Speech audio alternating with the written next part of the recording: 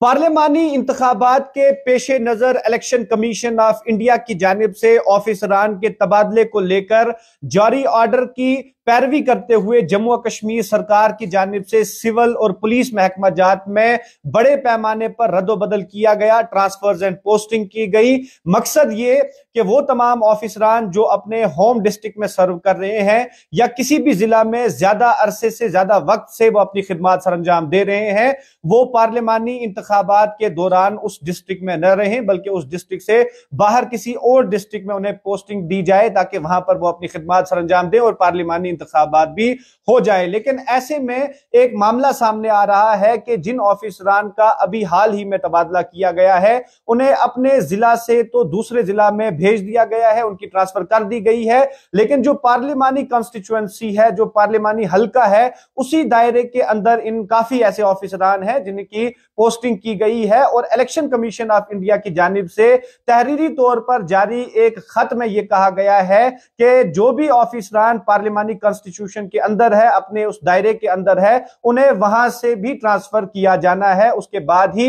वो जो ऑर्डर जारी किया गया है, उस पर अमल आवरी सही तरीके से हो सकेगी। हम मिसाल के तौर पर आपको ये बताते चले, इस खबर को मुकम्मल तरीके से आप तक पहुँचाने तक कि हाल ही में जो ट्रांसफ़र तहसीलदार की, नायब तहसीलदार की सीनियर के एस ऑफिसर चाहे वो एसीआर हो एडीसी हो, जिस तरीके से भी उनकी पोस्टिंग की गई हो, उन्हें अगर पुंछ में जो तैनात थे, उन्हें जो रजौरी भेज दिया गया है, अगर उनका होम डिस्ट्रिक्ट पुंछ है तो चूँकि वो असेंबली इलेक्शन में तो चल सकता था, लेकिन पार्लिमानी इंतबात में, पार्लिमानी इलेक्शन में जो उनकी कंस्टिट्युएंसी है, वो उसमें रजौरी डिस्ट्रिक्ट का भी बहुत ज़्यादा पार्ट जो है, वो इधर आता है, अनंतनाग का भी आता है। तो इन जो डिस्ट्रिक्ट जो पार्लिमानी कॉन्स्टिट्युएंसी के अंदर है, वहाँ पर उन ऑफिसरान को पोस्टिंग नहीं देनी है। ये order election commission of India की जानब से किया गया है, और यह कहा गया है तमाम सरकारों से, जिनमें जम्मू कश्मीर सरकार भी है, इसमें वो यूनियन टेरिटरी या वो सरकार एग्ज़ाम की गई है। जिसमें सिर्फ़ दो पार्लिमानी कॉन्स्टिट्युएंसीज हो, लेकिन बाकी तमाम को यह कहा गया है कि इंश्योर किया जाए कि जो ऑफिसरान तबादला जिनका किया गया है, उनका तबादला उन जगहों पर किया जाए जो उनके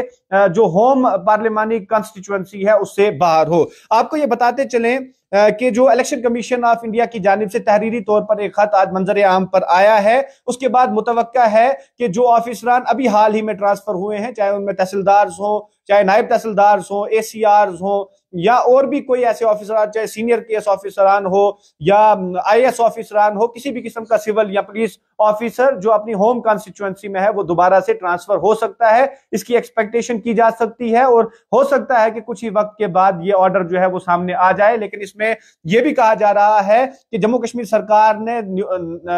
दिल्ली की तरफ़ जो कंसर्न अथॉरिटी है, उसकी तरफ़ ये लिखा है कि जिस तरीके से ट्रांसफ़र की गई है, उसका पार्लिमानी जो इंतबात है, उस पर कोई इफ़ेक्ट नहीं पड़ेगा। लेकिन अगर जो कंसर्न अथॉरिटी है, वो नहीं मानती है इसको लेकर तो उसके बाद ट्रांसफ़र जो है इन ऑफिसरान की दोबारा हो सकती है। अगर वो कंसर्न अथॉरिटी इसकी इजाज़त देती है तो उसके बाद ट्रांसफ़र नहीं होगी। लेकिन ज़्यादा चांसेस बताए जा रहे हैं। वो तमाम ऑफिसरान जो बिल्कुल नजदीकी डिस्ट्रिक्ट के साथ ट्रांसफ़र किए गए हैं, और वो पार्लिमानी कॉन्स्टिट्युएंसी में आ रहे हैं, जो उनका होम पार्लिमानी कॉन्स्टिट्युएंसी है तो उनको दोबारा से अब ट्रांसफ़र किया जाएगा। फ़िलहाल के तौर पर आपको ये बताते चलें इलेक्शन कमीशन ऑफ़ इंडिया की जानब से जारी एक तहरीरी खत में ये कहा गया है कि इलेक्शन कमीशन की जानब से जो ऑर्डर जारी किया गया है, पार्लिमानी इंतबात के लिए, उसके बाद कंसिस्टेंट पॉलिसी को फॉलो करते हुए उसकी पैरवी करते हुए तमाम वो ऑफिसरान जिन जिनका किसी भी स्टेट या यूनियन टेरिटरी में इलेक्शन कंडक्ट करवाने में कोई कनेक्शन होता है उन्हें जो है वो अपने होम डिस्ट्रिक्ट में पोस्टिंग नहीं नहीं दी जाएगी या वहाँ नहीं रखा जाएगा या कोई ऑफिसर जो ज़्यादा तो, देर किसी डिस्ट्रिक्ट में सर्व कर रहा है उसे वहाँ पर नहीं रखा जाएगा ज़्यादा वक्त के लिए पार्लियामानी इंतबात के दौरान वो किया गया है इस उसको लेकर ट्रांसफ़र एंड पोस्टिंग सरकार सरकारों ने की है और यूनियन टेरिटरी जम्मू कश्मीर ने भी की है। लेकिन बताया यह गया है कि कमीशन के नोटिस में यह आया है कि बहुत सारे ऐसे मामला हैं जिसमें ट्रांसफर्स एंड पोस्टिंग्स तो की गई हैं, लेकिन ऑफिसरान की पोस्टिंग साथ वाले डिस्ट्रिक्ट में की गई है, जिससे हुआ यह है कि वो अपने होम डिस्ट्रिक्ट में तो नहीं रहे हैं, लेकिन उनका जो पार्लिमानी कॉन्स्टिट्युएंसी है, वो होम पार्लिमानी कॉन्स्टिट्युएंसी में है, क्योंकि उस डिस्ट्रिक्ट के साथ वाला डिस्ट्रिक्ट भी जो है, एक ही पार्लियामेंट कॉन्स्टिट्युएंसी में है। लिहाजा उस वजह से यह हुआ हुआ है कि ट्रांसफ़र पॉलिसी की जो स्पिरिट है वो उसकी उसके अंडरमाइनिंग है, यानी उसके खिलाफ ये हो रहा है। लिहाजा ये कहा गया है तमाम सरकारों से, जिसमें जम्मू कश्मीर सरकार भी है, कि ये इंश्योर किया जाए कि तमाम वो ऑफिसरान जिनकी ट्रांसफर्स और पोस्टिंग की जा रही है, उनकी ट्रांसफ़र जो है वो होम डिस्ट्रिक्ट से बाहर तो करनी ही है, लेकिन ये भी ख्याल रखना है कि होम डिस्ट्रिक्ट के साथ साथ उनकी होम पार्लियामेंट्री जो कॉन्स्टिट्यूंसी है, उसमें वो ऑफिसर जो है वो नहीं रहने चाहिए। मिसाल के तौर पर जैसे पुंछ और रजौरी डिस्ट्रिक्ट में हाल ही में जो ट्रांसफ़र हुई है मैक्सिमम ट्रांसफ़र इसी तरीके से हुई है। पुंछ में जो ऑफिसर सर्व कर रहे थे, वो ऑफिसर जो है, वो रजौरी मुंतकिल किए गए हैं, उनका ट्रांसफ़र रजौरी किया गया है और रजौरी जो होम डिस्ट्रिक्ट जिनका उनको पुंछ भेजा गया है, लेकिन यहाँ पर यह बात समझने वाली है कि जो कॉन्स्टिट्युएंसी पार्लियामानी है, वो पुंछ और रजौरी का ज़्यादातर हिस्सा जो है, वो एक ही कॉन्स्टिट्युएंसी में आता है। लिहाजा उनको जो है दोबारा से ट्रांसफ़र करने का हुक्म सादर किया गया है। इलेक्शन कमीशन ऑफ़ इंडिया ने इसका तहरीरी खत जो है वो लिखा है और ये कहा है, ये जो पहले ट्रांसफ़र इससे की गई है, ये ऑर्डर उनके लिए भी एप्लीकेबल है, यानी उन पर भी इसी तरीके से उनको अमल आवरी जो है, इस ऑर्डर की जो है, वो करनी है। और साथ ही साथ डीजीपी के डीजीपी से और चीफ सेक्रेटरी जम्मू कश्मीर से कहा गया है कि वो इसकी रिपोर्ट पुरानी जो डायरेक्शंस पास की गई है, उसकी रिपोर्ट भी और आज के हवाले से भी रिपोर्ट जो है, आज तीन बजे जो है वो सबमिट करवा दे, जो सबमिट जो है वो हो चुकी होगी। लेकिन आपको ये बताते चले, ऐसे में जराया का ये कहना है कि जम्मू कश्मीर सरकार की जानब से या chief secretary of Jammu Kashmir की जानब से तहरीरी तौर पर जो कंसर्न अथॉरिटी है न्यू दिल्ली में, उसे लिखा गया है, कमीशन को लिखा गया है कि जो ट्रांसफर्स और पोस्टिंग जम्मू व कश्मीर सरकार की जानब से सिविल और पुलिस महकमा जात में की गई है। वो जो है, वो जबते को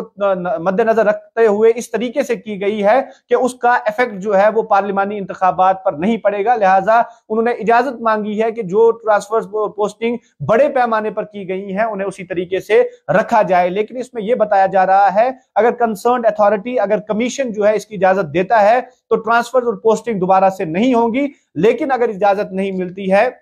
तो जो तहरीरी तौर पर ऑर्डर सामने आया है, खत सामने आया है, उससे साफ़ तौर पर यह वाजह हो जाता है और एक्सपेक्ट यह किया जा रहा है कि आने वाले कुछ ही वक्त में, आज ही रात, देर रात में हो सकता है या कल की तारीख में भी हो सकता है कि ये जो रिसेंटली सीनियर सिविल ऑफिसरान या पुलिस ऑफिसरान या कोई भी ऐसा ऑफिसर जो रिसेंट ट्रांसफ़र हुआ है और इस वजह से ट्रांसफ़र हुआ है कि उसे होम डिस्ट्रिक्ट से दूसरे किसी डिस्ट्रिक्ट में भेजा है, लेकिन उसकी पार्लिमानी कॉन्स्टिट्युएंसी जो है वो होम पार्लिमानी कॉन्स्टिट्युएंसी है, उन तमाम ऑफिसरान को दोबारा से ट्रांसफ़र कर दिया जाएगा। यहाँ तक भी जरा बता रहे हैं कि नई ट्रांसफ़र लिस्ट भी जो है वो तैयार कर दी गई है और किसी भी वक्त वो ट्रांसफ़र लिस्ट जो है, वो जारी की जा सकती है, लेकिन इस हवाले से अभी कंफर्म नहीं किया जा सकता है। सिर्फ़ आप तक इतना ज़रूरी खबर पहुंचानी है कि इलेक्शन कमीशन ऑफ़ इंडिया की जानब से तहरीरी तौर पर यह खत जारी किया गया है। ऑर्डर इसे कह लीजिए, डायरेक्शंस कह लीजिए, ये पास कर दी गई हैं कि वो तमाम ऑफिसरान जिन्हें होम डिस्ट्रिक्ट से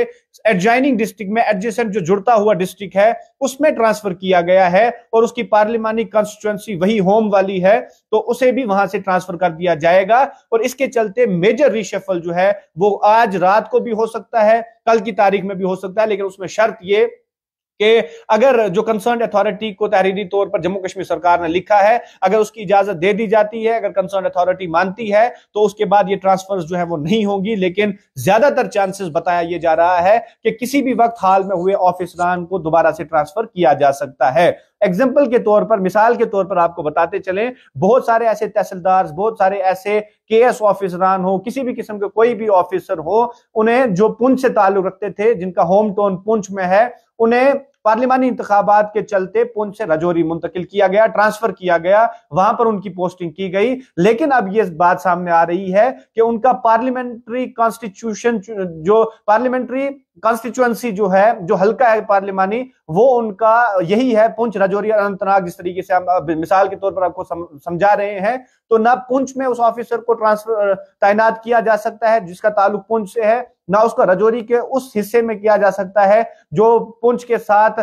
पार्लिमानी इंतबात के हल्के में है और ना ही अनंतनाग में उसे तैनात किया जा सकता है। इन जगहों के अलावा और किसी डिस्ट्रिक्ट में जो है उसे तैनात किया जाना है। उसके बाद ही बताया जा रहा है कि जो ट्रांसफ़र पॉलिसी है, उसकी पैरवी की जा सकती है। ऐसे में बहुत सारे तहसीलदार आपने जिस तरीके से हाल ही में देखा, तहसीलदार मंडी, तहसीलदार हवेली, तहसीलदार सुरनकोट, ये कुछ ऐसे नाम हैं या और भी ऐसी पोस्टिंग्स ऑफिसर्स की है जिनका ताल्लुक रजौरी के मुख्तलिफ़ इलाकों से है, लेकिन चूँकि अब वो पार्लिमानी कॉन्स्टिट्यूंसी उनकी एक हो रही है, लिहाजा उन्हें दोबारा से ट्रांसफ़र किया जा सकता है और इसका ऑर्डर कभी भी जारी किया जा सकता है। ऐसे में शर्त सिर्फ़ ये